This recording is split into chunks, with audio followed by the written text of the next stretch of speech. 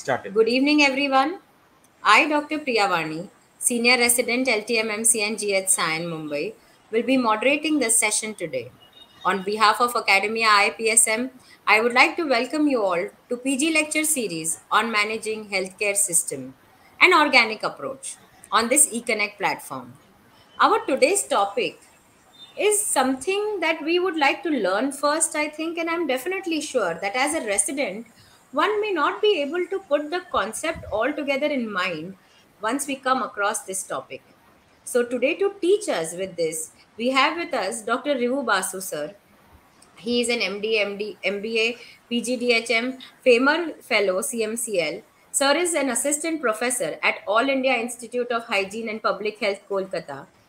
I welcome, sir, you on behalf of IAPSM eConnect. Coming straight to the topic, sir, we would like to know what does one mean with the anatomy of healthcare system? Right. So uh, I was thinking about this topic for quite some time now, and uh, thank God uh, kind of gave me that opportunity. So I am extremely grateful to you, uh, to all the officials uh, for giving me this opportunity. Now, uh, I, I always felt when I entered community medicine that uh, we are trained in a different modality, right? We are trained in a modality of where we learn anatomy, physiology, biochemistry in the first year, then pathology, then pharmacology, then medicine, surgery, gynae, etc. So the basic idea is that we at first look at the structure of the entire system. Then, along with that, we look at the function of the system. So these are the two points. So firstly, we look at the structure of the system, and then we look at the function of the system. And then what we do is we try to find out the relationship between the structure and the function. Okay. So that's why I decided to have my topics like this, the anatomy of healthcare systems, physiology of healthcare systems, discussion and remedies. So basically, we shall be knowing about the structure of the healthcare systems, the function, and the diseases of the healthcare systems per se, and the remedies that can be there. Okay, so that is how I have planned. Now, uh, before we go, I would like to emphasize why suddenly I chose this. Another reason. The reason is that whenever think, we think of an organization, we have a distinct purpose of the organization. There is a structure in which the organization is set up, and there are some people who work in the organization. So there is a purpose, a structure, and people. So we have seen, research have seen that the traditional ways of organization are very rigid. Why are they rigid? Because there are a very strict set of rules, regulations, strict bureaucracy, hierarchy, and that sometimes makes the organization very difficult to move. So what happens is that whenever some changes occur in the external environment, you may have heard about SWOT analysis. So whenever some changes appear in the external environment, the organization fail to act to those changes in a fast manner. It takes a lot of time to change. In many cases, the, it, the change is not effective and the organization becomes inefficient. Now, I am giving the example of a cat. So, if you are very familiar with cats, I love cats. Uh, so, if you are very familiar with cats, you will see that they are a very flexible animal. Why? Because if a very small opening is there, they will just they put their head inside and then they will put the entire body inside and go on the other plant. So that is a very big advantage of a cat because it can adapt or it is flexible to the external environment. It can change itself. Only if a particular structure, a particular organization can change itself, then it can survive. Otherwise, its survival becomes challenged because to make it, what should I say, uh, fit to the external environment where it is working, it a long time is required. The ears, the eyes, the nose, the skin, and the tongue is not there. What is that? From these parts, we receive our inputs. So whenever something is happening in the environment, we receive our inputs, And to be very frank, a organic system has got a mechanism of thousands and lakhs of inputs which a medical student may appreciate. Whenever there is a cold, there is some uh, th- thermostat in the brain. It takes care of that by increasing blood supplies and all those things. Whenever there is, uh, what should I say, uh, danger, there is a rush of adrenaline, the eyes dilate, people dilate, the fright and fright response is gets activated, we run out. So if the organization was not very flexible, these things wouldn't have occurred. And you may well appreciate the fact that suppose you are working in a new company or a new uh, medical college, after some time, you tend to adjust to the college. We all adjust to different situations in a very good way. Why? Because even our brain is plastic. The neural connections, the brain is plastic. Our personalities change, our behaviors change, and so human body is a very flexible thing. If the rigidity was there in human body, we would have never changed. So the same human body can work in a particular setup, then he can work in another setup in a new city with a new relationship. So change is a constant thing. That is why we try to build our organizations very organic. So there are some more open communications instead of the hierarchy. There are more lateral and vertical communications. Employers get very satisfied. Employees get satisfied. For procedures are less formal. The retribution and the bureaucracy is not there, and there is more deeper relationship between the employers. We work as a team rather than committees, task forces, etc. At the same time, uh, I should be mentioning some of the disadvantages. Like there can be too many ideas sometimes. So if there are too many ideas from too many creative people, it is difficult to come to a consensus. That may lower productivity because our decision takes a long time to make when, when it is democratic. Democratic, and also uh, in some cases the productivity may be decreased due to these reasons. Also, the regulations which we have to work in the legal regulations, the uh, secretary regulations, the regulations may be decreased in the working environment. Okay, so that is another problem, especially in healthcare, which is a very sensitive topic. So these are the reasons why I have chosen this topic and to make this I uh, uh, the healthcare organizations more organic. I think it answered your question. Definitely, sir. As rightly put up, uh, Darwin's theory, survival of the fittest. One needs to know the skeleton, the anatomy before one actually starts or gets into any organization per se and chooses any career pathway. So, coming to the physiology, that is now that we know that the skeleton, uh, we imagine the structure, sir. Can you please put up some light on how it functions, sir? How do the hierarchy, uh, how, how does this healthcare system function? What is the physiology behind it, sir? Right. So uh, it will be very good if I can talk about the anatomy and the physiology together. Now, uh, what I want to say is that Indian healthcare system is a very mixed system. There is no particular, uh, what should I say, uh, structure. There is a mixture of private, there is a mixture of public, and there is a also some other systems. So the government healthcare system is there, private healthcare system is there, where people can just go to a doctor, just go to a diagnostic center, and it's quite irregulated, I should say. And there are some other systems like the CGHS, like the mm, ESI, railways, where they have got their own system. Now, uh, as a government uh, personnel, I shall be discussing more about the what should I say, government system more, right?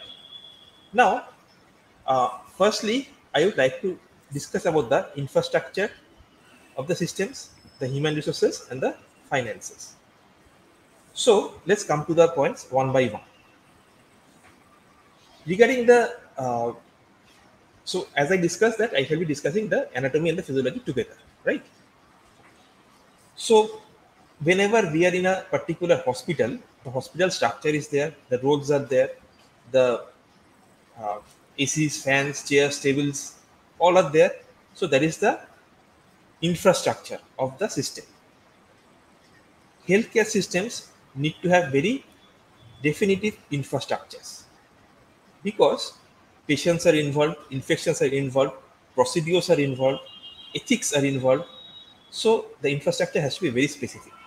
I'm giving you one or two examples of this.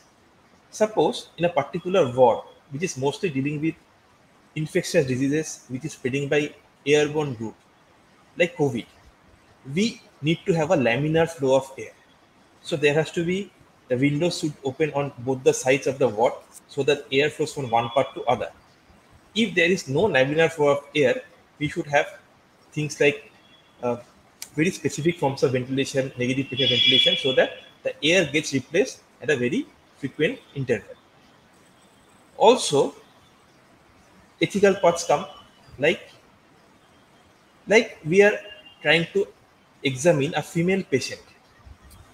Whenever we are trying to examine a female patient, we have to be sure that the examination is done behind a screen. We have all got those green screens in the hospitals, and the examination, if done by a male doctor, a female attendant should be there. So this is one ethical part. There are some feasibility or accessibility parts also to this. Like what? Whenever we de- are designing a hospital or a clinic, we can think of many things other than the healthcare part also. Like the patient should be coming, so there should be waiting area for the patient. There can be a queue, so they should not be standing in a like very high temperature or rain. So it should be shaded. There should be one or more uh, computer terminals for generating their tickets. There should be some waiting area. A receptionist will be there. Some announcements may be there. Ideally, the outdoors should be in the ground floor of the hospitals because on the upper floors, the indoors, the OTs should have been there. And also the diagnostic areas should be also in the ground floor so that for the daycare patients, for the OPD patients, they can just go to the uh, diagnostic center and then get their test done. Ideally, there should be a one window system of tests. Like what often we find in the government hospitals, a patient is prescribed to be tested on biochemistry, on pathology, and on microbiology, suppose. For that, they go to the different departments. There, they get different dates. So the same patient has to come two or three days for giving their blood. So it is a loss of wage to the patient, harassment to the patient. Also, the reports also come in two or three days. They will not give the report together. So the patient has to go all around the hospital campus to give the blood, take the report. There is harassment of the patient. We do not want that. We want the patients to be satisfied. That is why we can try for a one window system. What is that? You can see in many private hospitals it is present. The patient goes to a single place to send his blood. The blood is taken there, put into three or four vials. The vials are sent to the different departments, and the reports come to the patient in the reception itself. So these are very minor structural things or anatomical things that can be done to improve the patient satisfaction and improve the efficiency of the systems.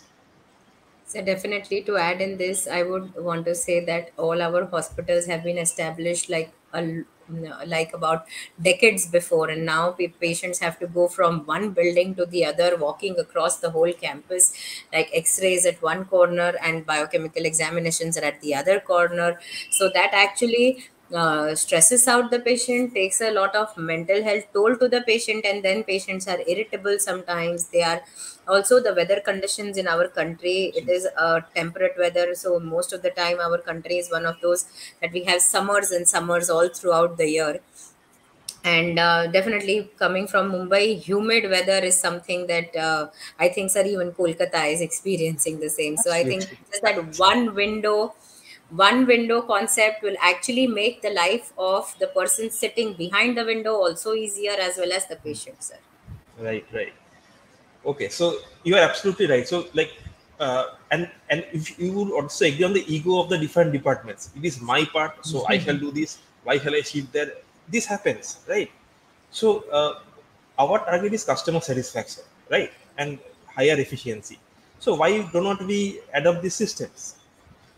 Okay, so once the structure is formed, and I am very happy to mention that IPHS standards 2022, which has been released by the government of India, is a very well thought of document because they have mentioned the structures very uh, meticulously. But again, I should be saying that maybe uh, some latitude can be given. That happens because uh, many of the PSCs have already been uh, formed, many of the health and wellness centers have been formed. So they cannot go to the structure, but at least we can have the what should I say, uh, essence of their documents. These are very well-built documents. I can give you another example. Okay, that is, uh, whenever in the PHCs, we often find that the for the labor room patients there is a different uh, room where they are staying, and often uh, they have to walk through the corridor to reach the bathroom. And you know the labor room patients, the, the bathrooms are very much required. Okay, so these things will should be thought of. Okay. As separate dressing places for the sisters and the female doctors. And this kind of very minor minor corrections it that can be made makes life easy for all of us. Also more than the infrastructure along with the infrastructure rather i should mention about the equipments and the consumables so the equipments and the consumables are another thing which makes up the anatomy of the healthcare systems there is one point I would like to mention here, which I often find in government system, that the anatomy is there, the physiology is not there. What is that?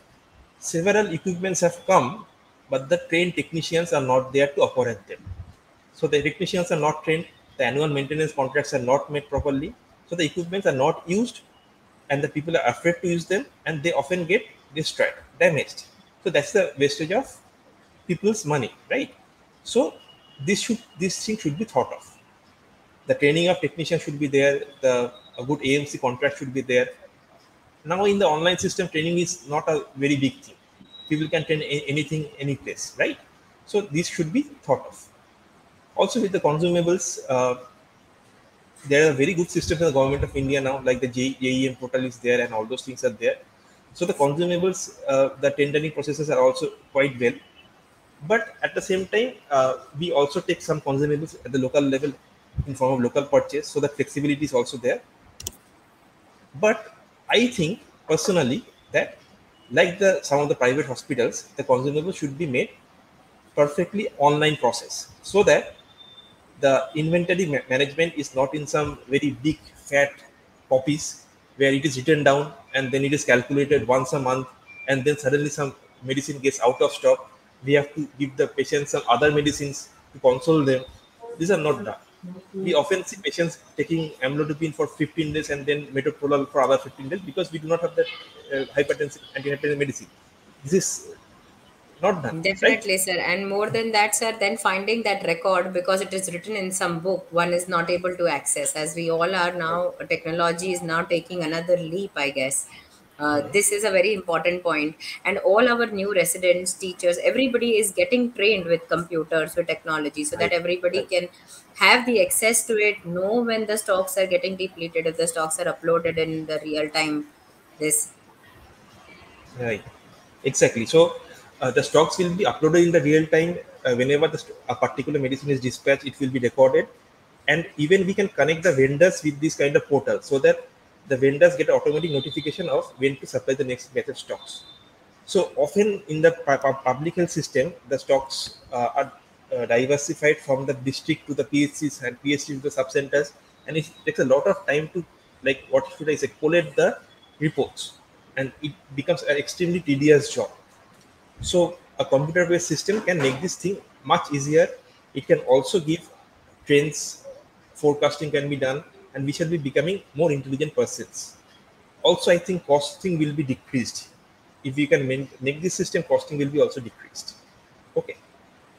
The third point and the most important point, I am always mentioning that it is human resources. Human resources is something else. A machine do not have mind. It doesn't get angry with you. It doesn't have mood swings. whenever we are uh, like having an argument with our family, it doesn't reflect on the, it may reflect on a job on that day, right? A machine will not have that. An infrastructure will not have that. A medicine will not have that. So human resources are very, very sensitive to be, what should I say, tackled. We have to develop different plannings for, to tackle human resources. We cannot count them as numbers. As you may appreciate that previously, if you go to the history of management, Max Weber and all those scientists, they uh, Henry Fayol, they treated human resources as numbers, only numbers. I should say that even now, Indian in many parts of India, human resources are treated as numbers only. Doctors to healthcare professionals one and all those things. That doesn't reflect the human resource because one may be working well, one may not be working well, one may have career aspirations, one may not be having career aspirations. So they have to be tackled in a different manner. And that is why we call something known as the human resource development. So whenever we talk about human resource development, uh, we think about their training, they think about their management, we think about how they will grow in their careers. Because nowadays we always think that if the human resource he has got some objectives in his mind. He wants a steady source of income, some comfort for the family, some work satisfaction.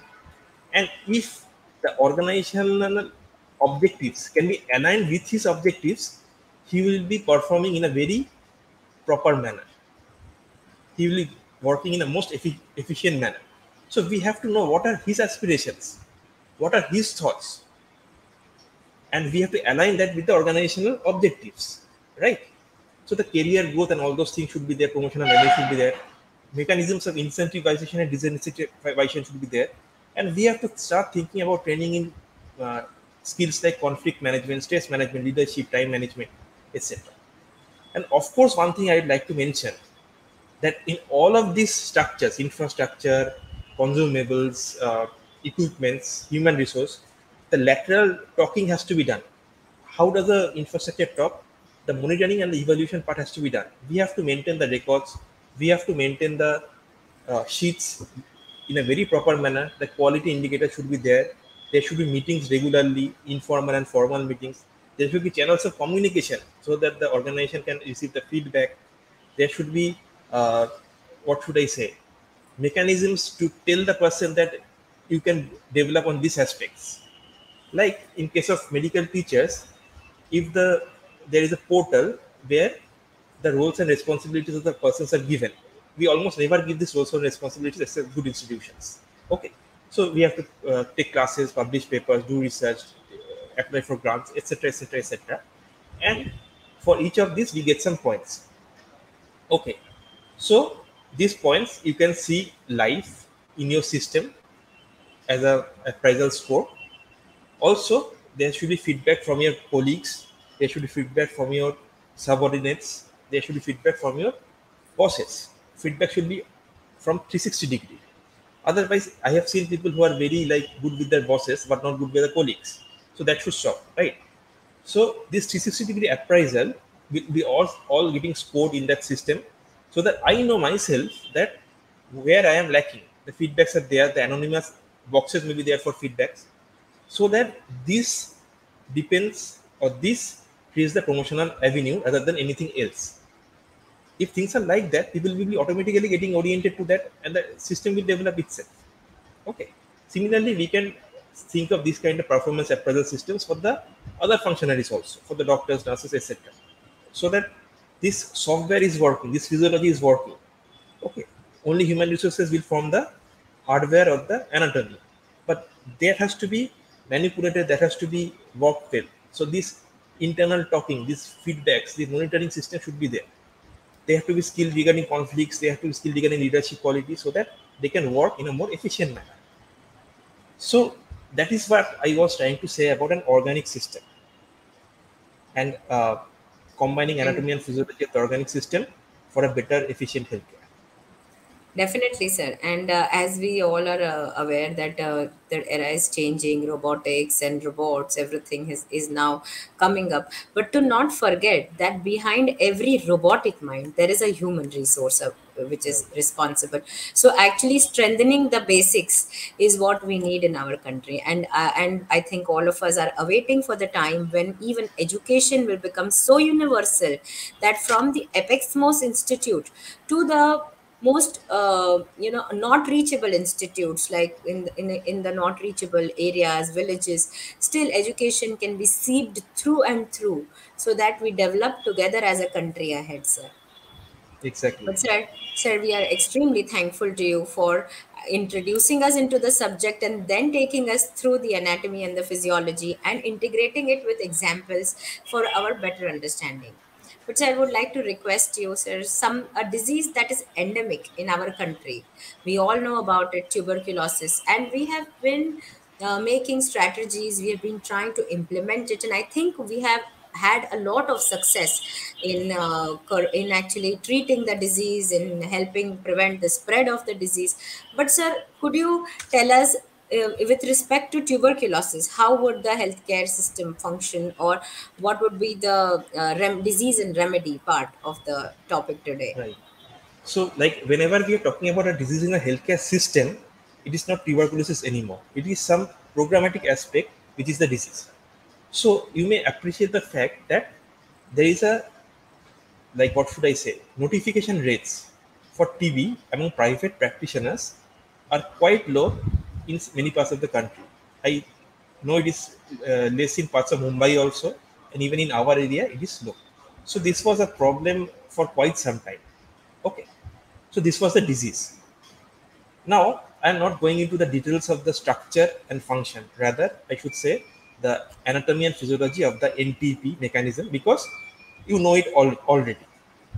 But I am telling you about some of the remedies. So when we started delving on the disease, like we think about a patient, we should be thinking about the disease itself or the poor notification. So the first thing is then what? First thing is then we are trying to take a history of the disease. So what is the history taking here? The history taking is the survey procedures using the different tools which we have. Thankfully, this TB has got several good tools uh, and for, for all of the functionaries. So we can use the tools for identifying systems. We also have sophisticated techniques like focus group discussions, in-depth interviews, key informant interviews, and other managerial tools with the help of which we can take the history of the patient, chief complaints history, various kinds of history, then the examination of the patient. Then comes the various kinds of examination of the patient. So how can we examine? While examining also, we shall be looking at the different parts of the anatomy, like the systemic examination. So how is it done? We shall look at the human resource. There are checklists for human resource. There are checklists for number of human resource. There are checklists for roles and responsibilities of human resource. So with that, we can do a human resource systemic examination of this problem. Also, for inventories, for other systems like infrastructures, there are checklists. We can use them for systemic examination of the infrastructural part. Similarly, we can have systemic checklists for the quality control parts. So with all these checklists and interviews, we can diagnose the come to some differential diagnosis, which we do in our day-to-day history taking. So what can the differential diagnosis? It can be like they are not private practitioners are not aware that they should be reporting somewhere. That may be one of the differential diagnoses.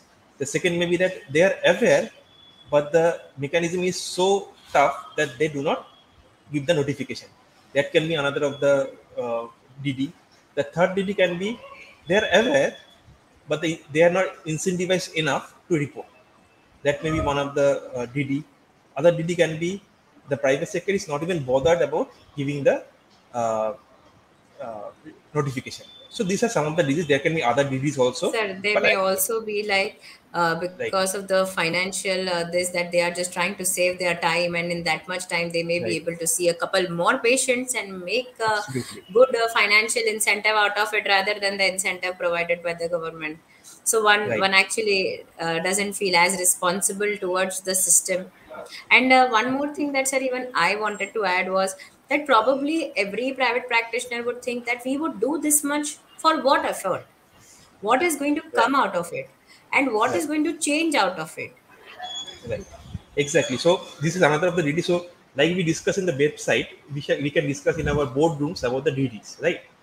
And we can form actually a kind of tool known as a problem tree analysis, or we often have fishbone diagrams, which are the tools in our this kind of uh, patient seeing.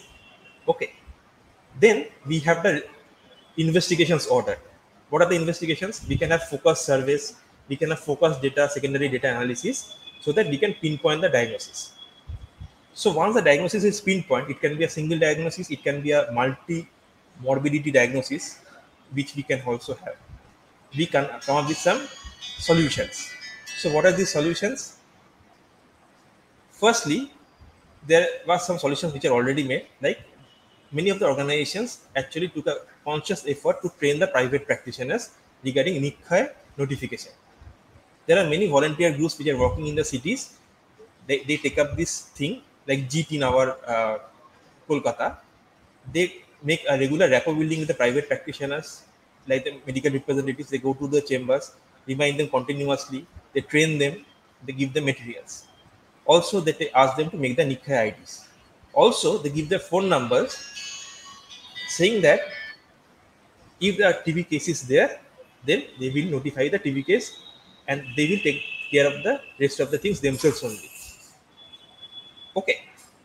So, uh, with this mechanism, it is more convenient for the uh, private practitioners that if a TB patient comes, they will directly tell to the uh, person. Okay. Uh, the next point is that we can incentivize the uh, private practitioners. So with each notification, they are getting a meager amount, but this amount all the same, 500 rupees to compensate them. Also, uh, the volunteers and the DOTS providers are entering into Nikshay themselves, so it is eliminating the bother of the private practitioners and they're following up the patients themselves, right? The third point is that uh, in most of the pharmacies, the DOTS medicine are not available now. There is banning because there is extremely strict regulatory practices. H1 forms and all those things are there. So, in many of the shops, the medicines are not available. So, the patient has to go to the government sector. And if they go to the government sector, the follow up can be done in a proper manner. So, these were some of the remedies or some of the treatments or surgeries or medicines that came out from the discussions, and these are in place. And thankfully, this has decreased the uh, increased the notification rate considerably in the private sector. So that is how we think of a managerial problem in line with our disease framework and come up with solutions after a proper history taking and investigations. Thank you so much, sir, for giving us this basic knowledge and the overview on this topic. Coming to an end of the discussion now, sir, I would like to take a moment to thank our PG coordinating team and all the office bearers for supporting us in this PG lecture series. We encourage you to become a member of the IAPSM if you are not yet one. And please do subscribe to the IAPSM eConnect channel to stay tuned to our further events. As the moderator of this session, this is Dr. Priya Wani signing out. Thank you, everyone.